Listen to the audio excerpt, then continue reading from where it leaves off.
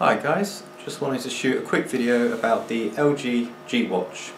Um, now just a note about a couple of problems basically. Um, one is if you actually have to reset your phone for any reason, um, now I did this because I was actually testing the developer preview um, port on my um, Nexus 4 um, and I got fed up with all the bugs so I thought I'd go back to stock. Um, once you do reset your phone, your watch will not automatically reconnect again, um, even if you reinstall the Android Wear um, application on the phone, it still will not reconnect. You have to actually then factory reset the watch as well. Um, don't know if that's a bit of a bug or more of a sort of security feature um, that it has built in, um, but obviously it's a bit annoying. Um, sometimes also the apps weren't auto installed again. Most of them did. Um, the only one I had problems was with the Wear Mini Launcher, which of course is one app that I'd recommend that anybody with a smartwatch definitely has. It's a very much a must-have.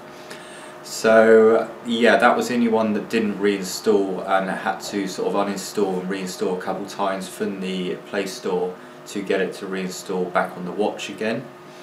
Um, the other problem I had was a couple of days ago, um, for some reason I lost all vibration in the watch. Um, now I checked by doing dragging down from the top screen, doing the mute and unmute, and the vibration was working fine, but any notifications I sent through to the watch didn't vibrate. Sometimes they didn't even show up at all on the watch, but other times they did show up, but no vibration.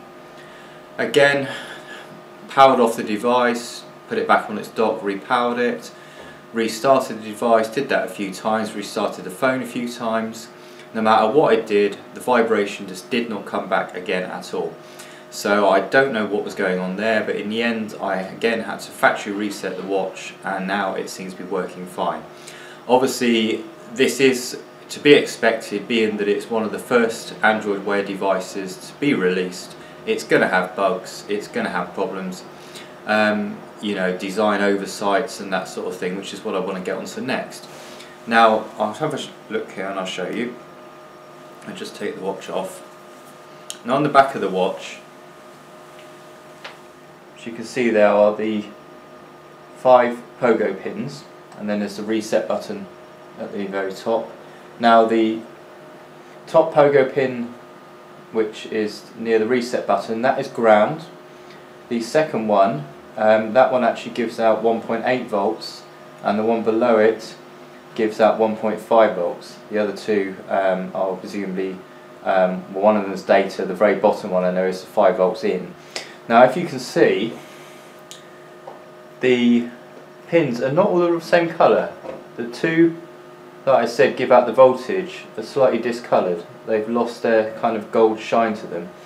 Now um, this is basically down to the fact that the watch, like I say, gives out this voltage and people have been reporting problems um, with um, basically having obviously what's going on here with the discolor the, um, the discoloring is the issue um, with the voltage and the current and if people are doing a lot of exercise or they're and it's a hot day and they're sweating of course because your sweat contains a lot of electrolytes in the, in the form of salt. It makes it very conductive and it's conducting current through and that's hence causing the problem. There was also um, one report um, I saw first on the All About Android show where somebody had actually got their skin actually burnt um, you know, allegedly by the watch itself. Um, whether or not that's true I don't know. Um, it seemed at first LG weren't too keen to really sort of doing anything about it at all and sort of just you know saying oh it's not our problem. Um, however now they have sort of changed their mind as of um, about sort of 11 12 hours ago before shooting this video today which is Sunday the 2nd sorry Sunday the 3rd of August um, at 9.40 in the morning. And um, basically they're going to release a software update to turn off the pins so that there is no voltage going out of the pins at all unless it's connected to the charging dock. Now to me that seems so obvious. Why on earth would you want voltage coming out of the pins in the first place? You know, if they can turn it off in software, why did they not do it in the first place? Who knows? But it's just one of those things. Again, like I say, it's design oversight. You know, they're just not a first generation device, going to have problems. Now, whether or not I keep the LG G Watch uh, forever, I don't know. Um, I might upgrade to the Moto 360 when that's released, um, hopefully in about a month or so. Um, just have to see about pricing um, and how much I can obviously get for this one if I choose to sell it. Um, now the update, um, I'm not sure it's going to change the actual software from 4.4W which it currently is but apparently the build number is being changed. Now according to an article I've got off the internet from a website anandtech.com um, they are quoting that the OTA is upgrading the watch from build number KMV78V to KMV78Y um, and now this should be rolling out over the next few days. Um, I have restarted the uh, phone and restarted the watch and I've not got the software update yet. Um, I will just show you briefly on the watch how you actually go and manually check if there is an update available. Okay, so on the watch basically you want to swipe across. If you've got Wear Mini Launcher, this is what you'll see here when you swipe across on the top right.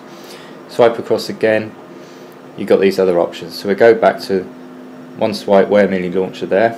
You can go down to Settings, and then you go to About Device, and then right at the bottom you've got System Updates, and we can click on that and saying System's up to date. Um, now the other way of doing it,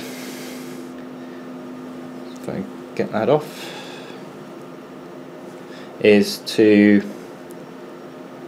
go to there, swipe up, you can swipe all the way down and then you can go to settings like that. So yeah, so hopefully I should get that update um, in a couple days um, and when I do, I will check with the multimeter if that has actually turned off the uh, the uh, voltage from the charging pins, um, and that should hopefully solve some of the issues with corrosion. I'm not sure it will completely solve it because they're not gold plated apparently. Um, they're nickel and something else. Um, so yeah, come on LG, you know you could have put a bit of gold plating on to, to protect it a bit more, but they haven't done. So yeah, um, yeah, not much more I can say about that really. Um, but yeah, hopefully it fixed the issue. Um, i have been lucky that it has corroded it slightly, but it hasn't caused any issues with charging as of yet. Um, but obviously I don't want it to corrode more, and obviously LG don't want to be getting loads of people returning their watches under warranty saying, well hang about, you know, I want my money back I want a replacement.